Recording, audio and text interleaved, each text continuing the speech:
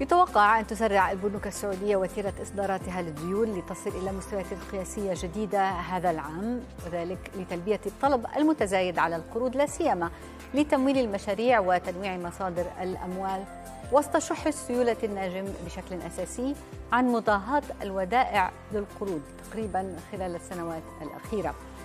بحسب بلومبرج انتليجنس فإن حجم إصدارات الديون من البنوك السعودية بلغ 14 مليار دولار منذ بداية العام حتى منتصف نوفمبر فيما رفعت تقديراتها لإصدارات الدين من البنوك السعودية إلى مستوى قياسي هذا العام من 11.5 مليار دولار إلى 15 مليار دولار سنوياً.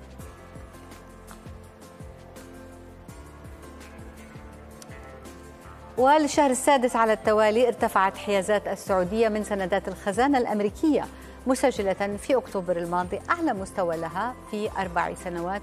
وفقا لبيانات جمعتها بلومبرغ. وبحسب البيانات ارتفعت قيمة سندات الخزانة الأمريكية التي يحتفظ بها المركز السعودي إلى 144 مليار دولار ما يعادل 35% من إجمالي الأصول الأجنبية لدى المركز السعودي.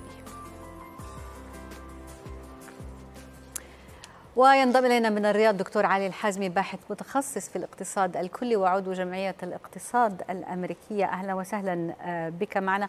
نبدأ بالحديث عن موضوع تسريع البنوك السعودية آه، لوتيرة إصداراتها للديون آه، في هذه الفترة المقبلة. هذه هي التوقعات على الأقل. ما الذي يدفع بهذا الاتجاه؟ أهلا أهلا سيدة صبا صباح الخير وبالسادة المشاهدين. أنا أعتقد ما يحدث اقتصاديا هو ما يدفع تجاه هذا ما يدفعنا إلى هذا الاتجاه. مشاريع كبيرة عملاقة. اليوم نلاحظ بأن إذا تحدثنا على مستوى الحكومة يعني تقريبا واصلين إلى مستوى التريليون و150 مليار ريال هي حجم الديون السيادية. تقريبا أكثر من 70% هو يأتي من السوق الداخلي.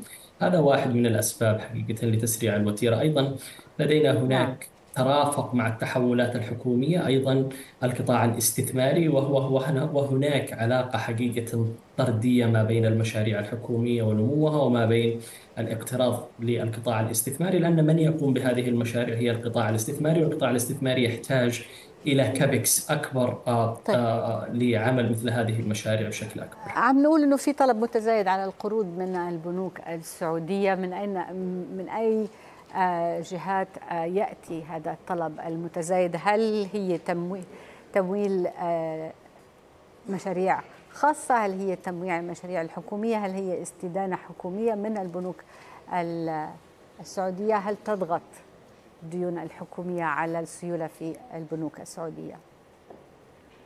حتما هي تأتي من جميع الأطراف حقيقة على مستوى الحكومة على مستوى القطاع الاستثماري حتى على مستوى القطاع الاستهلاكي. وكلنا نعلم إذا ذهبنا إلى آخر نقطة القطاع الاستهلاكي. اليوم المحفظة المحفظة الإقراضية فقط فقط للقطاع العقاري وصلت إلى مستويات أكثر مستويات 600 أعتقد 800 مليار ريال. وهذا رقم كبير انطلاقا من 250 مليار في العام 2018 تضاعفت تقريبا ثلاث مرات. وأيضا القطاع الحكومي نلاحظ بأن حجم الدين منذ انطلاق رؤية المملكة لم يص... لم يكن في يعني لم يتجاوز مستويات 600 مليار ريال. اليوم نتحدث عن التريليون و150 نتحدث أيضا عن القطاع الاستثماري عن القطاع الاستثماري وقطاع البنوك.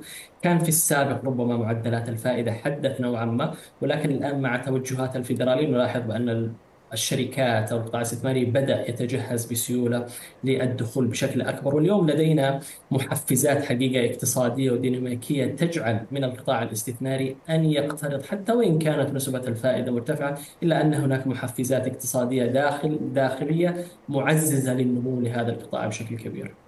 طيب البنوك تسرع وتيرة إصداراتها للديون من الذي آه مرجح أن يشتري هذه الديون. خلينا نحكي على تقييم الائتماني للبنوك. كيف تقدر الآن وكيف تقارن إذا مع فرص أخرى للمستثمرين في السوق؟ أنا أعتقد البنوك تقف على أرضية صلبة جيدة وكلنا نلاحظ بأن البنوك في المملكة تصنيفاتها جيدة ومرتفعة والسبب يعود وجهة نظري لوجود بنك مركزي أجريسيف وقوي وشديد.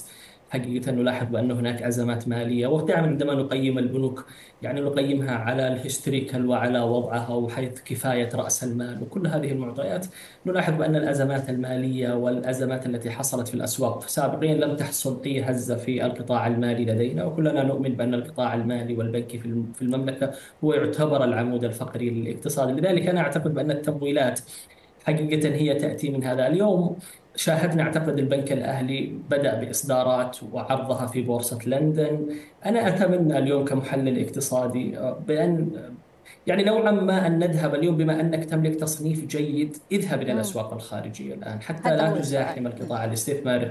نعم حتى لا تزاحم القطاع الاستثماري داخليا. يعني اليوم إذا تحدثنا عن المستوى الحكومي نعم لدينا تصنيف جيد.